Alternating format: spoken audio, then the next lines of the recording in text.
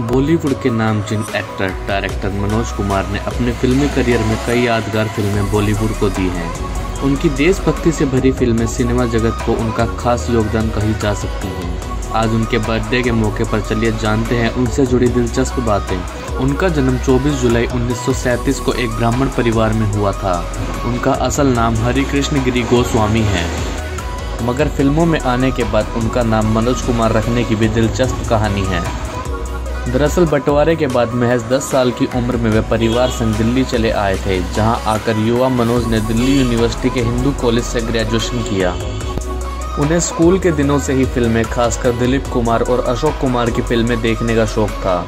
इस दौरान रिलीज़ हुई फ़िल्म शबनम को देखकर मनोज इतने प्रभावित हुए कि उसके दशक भर बाद जब उन्हें सिनेमा जगत में कदम रखा तो उस फ़िल्म में दिलीप साहब के किरदार के नाम पर अपना नाम मनोज कुमार रख लिया।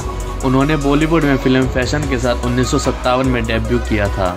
इस फ़िल्म में मनोज ने एक 80 वर्षीय बुज़ुर्ग का किरदार निभाया था। हालाँकि फ़िल्म कुछ खास कमाल नहीं दिखा पाई, जिसके बाद उन्हें बतौर हीरो फ़िल्म कांच की गुड़िया 1960 में सईदा खान के साथ कास्ट किया गया था। मनोज को उन्नीस सौ पैंसठ में आई फ़िल्म शहीद से देशभक्ति पर बनी फ़िल्मों के लिए खास पहचान हासिल हुई।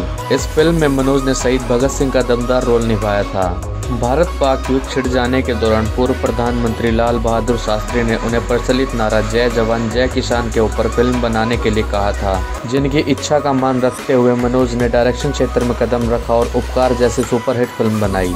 इस फ़िल्म में उन्होंने सेना के जवान और किसान दोनों की भूमिका निभाई थी।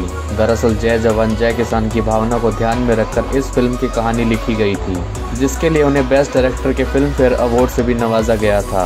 अपने करियर में ज़्यादातर फ़िल्मों में उनके किरदार का नाम भारत होने की वजह से दर्शकों ने उन्हें भारत कुमार के नाम से पुकारना शुरू कर दिया था। उन्नीस सौ इक्यासी में आई उनकी फ़िल्म क्रांति ने बॉक्स ऑफ़िस पर सफलता के सारे रिकॉर्ड तोड़ दिए थे। मगर इसके बाद उनकी फ़िल्म कुछ खास कमाल नहीं दिखा पाई और उन्होंने साल उन्नीस में एक्टिंग क्षेत्र से संन्यास ले लिया। इस साल आई फ़िल्म मैदान ए जंग बतौर एक्टर उनकी आखिरी फ़िल्म रही थी। मनोज के सिनेमा जगत को दिए योगदान को लेकर साल 2016 में उन्हें दादा साहब फाल्के अवार्ड दिया गया था। भारत कुमार के नाम से मशहूर मनोज जैसा दामाद पाने का अरमान उस दौर में हर माँ अपनी बेटी के लिए देखा करती थी।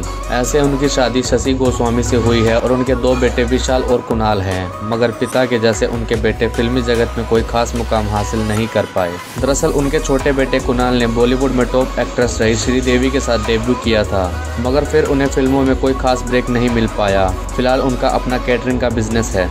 मनोज कुमार ने कई रोमांटिक रोल भी अदा किए हैं, जिनमें उनका हीरोइन के साथ रोमांस करने का अपना ही एक अलग अंदाज हुआ करता था। उनके फैंस को फ़िल्मों में उनके पहने बंद गले और टोपी खास पसंद आते थे। इस दौर का ये लेटेस्ट फ़ैशन ट्रेंड भी बन गया था। वैसे एक्टर मनोज को अपने करियर में कई अवार्ड हासिल हुए, जिनमें सबसे सर्वोच्च सम्मान पद्मश्री से उन्हें भारत सरकार द्वारा उन्नीस सौ बानवे में सम्मानित किया जा चुका है। उनकी हर फ़िल्म में भारतीय संस्कृति और सभ्यता का ही बोलबाला देखने को मिलता है, मगर समय के साथ उनके इस जज्बे की दर्शकों में लोकप्रियता घटती चली गई। हालाँकि मनोज कुमारी भी पहले शख्स थे जिन्होंने बॉलीवुड फ़िल्मों में पाकिस्तानी एक्टरों को कास्ट किया था। उन्नीस सौ नवासी में आई उनकी फ़िल्म कलर्क में मोहम्मद अली और जेबा ने काम किया था, जो उस दौर के लिए काफ़ी क्रांतिकारी कदम माना गया था।